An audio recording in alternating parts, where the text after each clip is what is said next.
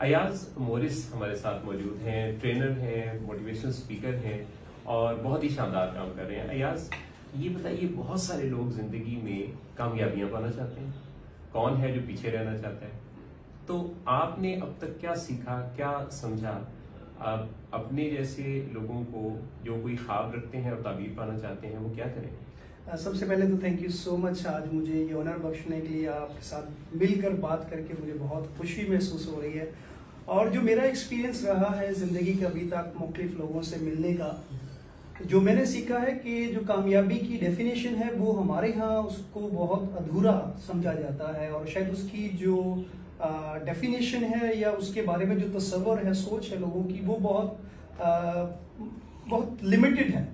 तो मेरे ख्याल में उसको हमें देखने की ज़रूरत है कि कामयाबी दर हकीकत हम किस चीज़ को डिफाइन कर रहे हैं अच्छा ये तो बड़ा ज़रूरी पहलू है तो आप कैसे डिफाइन करेंगे मे, मेरे ख्याल में जो है एक है कि माइंडफुल फुलफिलमेंट यानी आपकी माइंडफुलनेस कि आप अपनी ज़िंदगी से खुश हैं हम्म। और जो ज़िंदगी का मकसद है हम्म। उसको आपने दरियाफ्त किया है और आप समझते हैं कि यार ये काम करके मुझे खुशी मेरी पहली मेरी जात उससे खुश होती है हम्म। और फिर जो इर्द गिर्द के आपके लोग हैं वो समझते हैं कि हाँ यार इस बंदे की वजह से या इसके काम की वजह से हमारे काम में हमारे अदारे में हमारी जो है वो ज़िंदगी में वैल्यू ऐड होती है हम्म। मैं समझता हूँ कि वो कामयाबी है कि आप अपनी एग्जिस्टेंस से अपने इर्द गिर्द के माशरे में वैल्यू ऐड कर दें और बेहतरीन ज़बरदस्त ये बताएँ कि जो लोग अपने हालात बदलना चाहते हैं राइट right. कुछ चंद एक स्टेप्स वो क्या लें देखें हर शख्स चाहता है कि वो कामयाब हो खुश रहे पैसा और प्यार उसे। मिले और फिजिकली फिट हो और अल्लाह की रजा खुदा से कनेक्शन जो उसका है वो मज़बूत हो। तो ये मंजिल पाने के लिए आ, क्या चंद एक स्टेप्स वो लेना शुरू करें? मैं अक्सर जो मेरा एक्सपीरियंस है जब मैं नौजवानों से गुफ्तगु करता हूँ मुख्तलिफ़ कॉलेजेस यूनिवर्सिटीज में तो मैं उनको एक चीज़ कहता हूँ हम्म। कि कभी भी ना हम्म। आप अपने हालात से मौजूदा हालात से अपने माजी से अपने बैकग्राउंड से कभी भी आपने मायूस नहीं होना हम्म। मेरी खुद एक स्टोरी एक जर्नी हाँ। It's a very very humble background I can not even imagine मैं अपनी फैमिली का वो पहला लड़का था जिसने मैट्रिक की थी और व्हेन आई लुक बैक अब अब मैं अपनी ज़िंदगी में देखता हूँ तो वो चीज़ें जो पहली चीज़ जिसने मुझे हेल्प आउट की वो था कि आपने ज़िंदगी में कभी भी जिस जिस मंजिल तक आप जाना चाहते हैं हम्म। उसमें और इस जिस वक्त आप जहाँ मौजूद हैं हम्म। इसमें और उसमें जो फ़र्क है वो आपने कभी भी ये नहीं सोचना कि मैं नहीं कर सकता Wonderful. और ये ये जो सोच है ना पहला जो मैं कहता हूँ ये जो मैजिक बॉक्स है ये आपका ब्रेन है आपकी इमेजिनेशन तस्वुर है वो कहते हैं ना if you can imagine it you can do it so पहली बात तो ये आ गई कि यकीन हासिल यकीन बिल्कुल। और आपकी जात से आपका अपने खालिक के साथ रिश्ता इतना मज़बूत होना चाहिए हम्म। कि उसने आपको इस दुनिया में एक खास मकसद के लिए भेजा। वो कहते हैं ना बड़े वो दो दिन बड़े आपकी ज़िंदगी में खास है। एक दिन जिस दिन आप पैदा हुए और दूसरा वो दिन जिस दिन आपको ये मालूम हो कि आप इस दुनिया में आए क्यों हाँ। दैट्स वेरी इंपॉर्टेंट कि यू मस्ट नो कि what is the purpose of your existence. ये चीज़ और दूसरी इससे मिली जो चीज़ है कि आप कभी भी हिम्मत ना हारें। मैंने देखा है कोई भी शख्स जिस किसी ने भी ज़िंदगी किसी भी पहलू में जो उसने कुछ अचीव किया है हम्म। उसकी ज़िंदगी में जो नाकामियाँ थी वो सबसे बड़ी उसकी स्ट्रेंथ बनी। सही सही सही। तो ये बताएँ कि अब बहुत सारे लोग ऐसे होते हैं जो कि अब नाकाम भी हो जाते हैं ज़िंदगी में कामयाब नहीं हो पाते।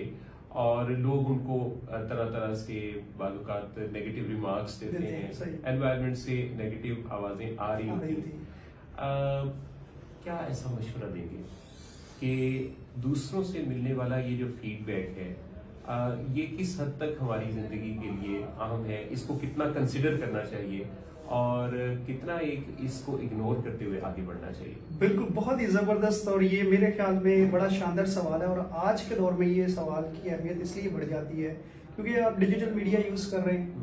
इतनी ज़्यादा उसमें इंफॉर्मेशन आ रही है फ्लड ऑफ़ इंफॉर्मेशन और आपने किस चीज़ को कोई आपको ये मशवरा दे रहा होगा कोई ये दे रहा हम्म। मैं कहता हूँ आज के दौर में आपकी कामयाबी ये है कि आपने किससे हम्म।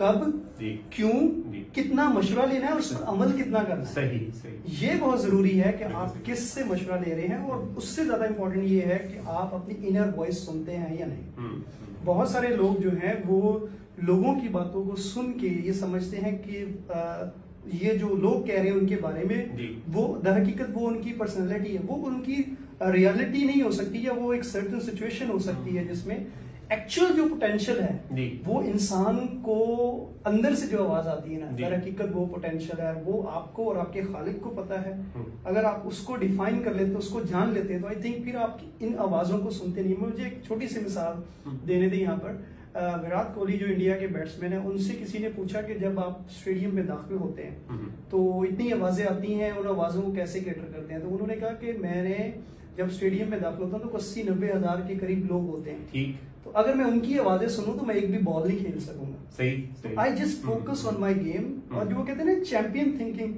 चैंपियन थिंकिंग यही है कि आप अपने टारगेट पे इतने ज़्यादा फोकस होते हैं कि यू डोंट केयर अबाउट के लोग क्या कह रहे हैं इर्द गिर्द especially when you are down ji. Especially जब आप नाकाम होते हैं। जी। मेरी ज़िंदगी यकीन माने मैं कहता हूँ मैं किताब लिखूँगा एक कभी हम्म। नाकाम होने के कामयाब तरीके।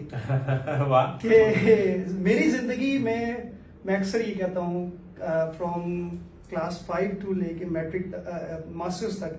I have never pass any class without failing.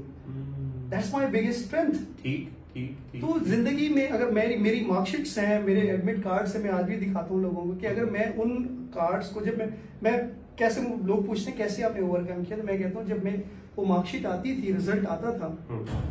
तो सब कहते थे यार तुम क्लास में बड़े पढ़ने में अच्छे हो तुम्हारा रिज़ल्ट क्यों नहीं आता हम्म।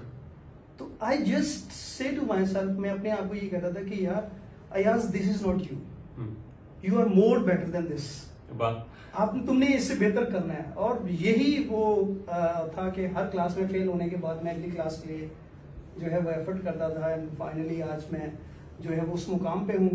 जहाँ मैं लोगों को अपने उन एक्सपीरियंस से जो मैंने सफ़र किए उससे लोगों को गाइड कर सकता हूँ कि ये जो फेल होना नाकाम होना ये ज़िंदगी का एक हिस्सा है। बेहतरीन ज़बरदस्त आपकी बातों से मैंने ये जाना कि आप ये मैसेज दे रहे हैं कि हम सब लोगों को गॉस्पा पर अमल करना चाहिए। यानी कि G O S P A goals आपके ऑब्जेक्टिव्स आपकी स्ट्रेटजीज आपकी प्रायोरिटीज और आपके एक्शंस तो ये सब कुछ अगर आप पर वाजे और क्लियर हो। फिर आप सब कॉन्शियस माइंड और कॉन्शियस माइंड की ताकत आपस में कनेक्शन भी जाने.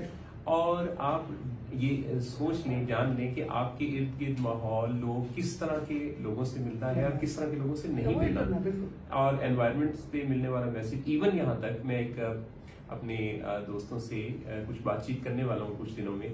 कि हमारी जो स्लो थिंकिंग है फास्ट थिंकिंग है इसका क्या असर है और इसका इस्तेमाल हम कैसे कर सकते हैं? तो आपने बड़ी खूबसूरत बातें की और मुझे बहुत खुशी है कि आज मेरे ऑडियंस के साथ आपने अपने ख्याल को शेयर किया।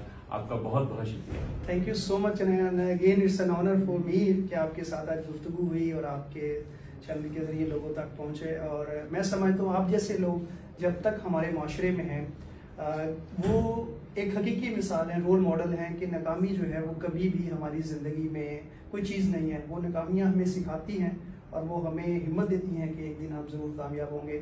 और आप इसकी हकीकी मिसाल हैं, आपका अज़म आपका जज्बा, आपका जो कंट्रीब्यूशन है सोसाइटी के लिए I think that's tremendous and that's role model for the young generation के आप हालात से कभी ना डरें, आगे बढ़े। ये दुनिया जो है वो फतह करने के लिए और दरियाफ्त करने के लिए पड़ी हुई है। ये दुनिया दरियाफ्त करने के लिए और फतेह करने के लिए पड़ी हुई है। कितना खूबसूरत जुमला। और इसी जुमले पर आपके लिए ढेर सारी विशेष के साथ आपका बहुत शुक्रिया। अल्लाह हाफिज़।